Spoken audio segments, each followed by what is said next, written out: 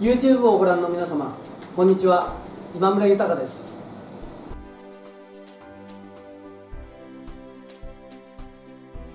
私はですねあの尼崎の場合はですねもともとはあのセンター筋アウト決まるなっていう印象がすごく強かったですしっていうのもあの水面もすごくいいんですね。だから若い時ずっとそういうふうに思ってきたんですけれども確か尼崎はあのタンマークをですね第一タンマークあの振り幅を戻したと思うんですよ少し。あのですから今現状ではですね確かに6コース5コースあたりから行くとですね第一ターンマークまでがすごく遠いなと。ただタンマーク行くまでに先にインから回られるなっていうふうな印象がすごくありました。ですからやっぱり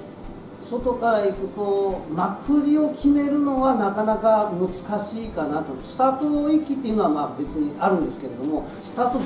同体でからのまくり一気っていうのはなかなか難しいんではないかな、まあ、その結果がですねインの勝率が高くなってるんではないでしょうかね。私個人的にはですね尼崎はスタート切りやすかったかなっていう風な印象がすごくありますね。住之江とですね似たところがちょっとあるんですけれども波の硬さでいうと住之江よりも尼崎の方が柔らかい感じ。あの同じ淡水なんですけれどもそんな印象がすごくありましたね。割と水面がいいレース場でしたので結構思い切ってレースはできるなっていう風な印象がすごくありましたね。自分はですねあの何コースになってもそんなに苦には思ってなかったですね。尼崎の思い出はですねちょっとレースから離れるんですけれどもあの95年にですねあの阪神・淡路大震災ってありましたよね。あれあの時ちょうど私尼崎の g 1レース走ってましてどうしてもねいまだにあの尼崎といえば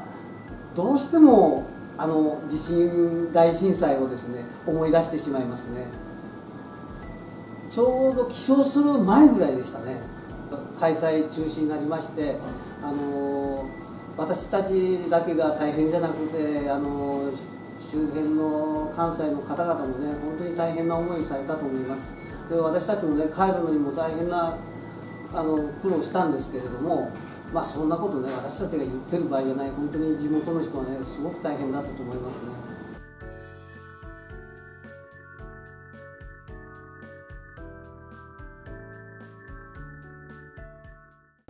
日韓コム杯 PR 大使に就任した今村豊です。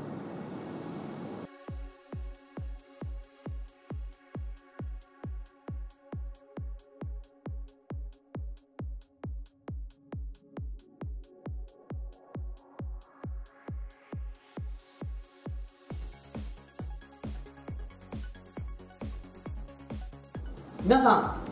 チェックしてください。